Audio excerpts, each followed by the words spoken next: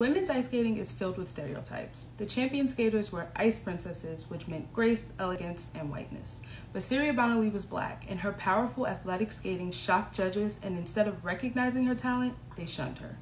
Surya Bonaly was orphaned at birth and adopted by a white family, but she found comfort in sports and soon was a junior champion in both gymnastics and ice skating. But there were no other black girls on the ice.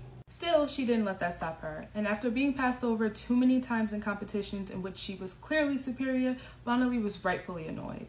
But she had a secret weapon in her back pocket that nobody could ignore.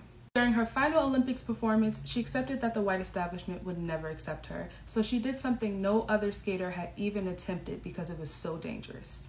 For her last move, she pulled an incredible backflip, and the judges just couldn't ignore that. She received massive deductions in her score for the illegal move, but she backflipped straight into our hearts, inspiring black girls all around the world. She didn't need the establishment's acceptance, which is why her challenge to racism in skating will forever be legendary.